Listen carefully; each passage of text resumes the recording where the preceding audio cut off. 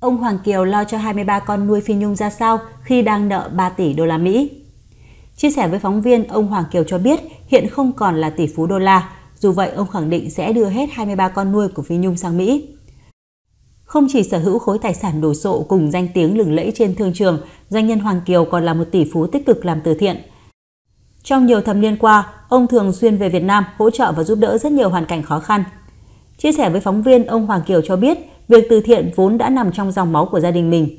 Từ xa xưa, dòng họ ông đã xem việc giúp đỡ cộng đồng như một phần trách nhiệm. Với lối sống được truyền từ đời này qua đời khác đã ảnh hưởng rất lớn đến tính cách của ông sau này. Việc làm từ thiện đã ở trong dòng máu của gia đình họ Hoàng chúng tôi. Ba tôi là nhạc sĩ Hoàng Thị Thơ.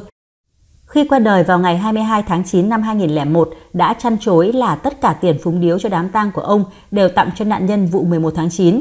Ông bộc bạch, được biết sở dĩ ông Hoàng Kiều gọi nhạc sĩ Hoàng Thị Thơ là ba vì nam nhạc sĩ đã cưu mang người cháu ruột của mình từ bé khi phải chịu cảnh mồ côi sớm.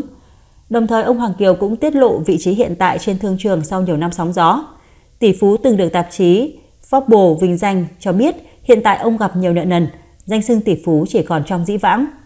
Trong những năm tôi làm từ thiện ở Việt Nam, tôi chưa trở thành tỷ phú, chỉ là triệu phú của người nghèo. Bây giờ tôi nợ nần như chúa trổm, bị lọt khỏi danh sách 400 tỷ phú ở Mỹ. Từ một tỷ phú đứng thứ 148 với tài sản 3,8 tỷ đô la Mỹ, bây giờ nợ 3 tỷ đô la Mỹ và không còn là tỷ phú nữa, ông Hoàng Kiều chia sẻ. Tuy nhiên, doanh nhân gốc Việt vẫn duy trì và miệt mài làm từ thiện tại quê nhà. Gần đây, Phó Chủ tịch hãng sản xuất huyết tương Shanghai RAAS Blood Products gây chú ý khi nhận nuôi 23 người con của ca sĩ Phi Nhung.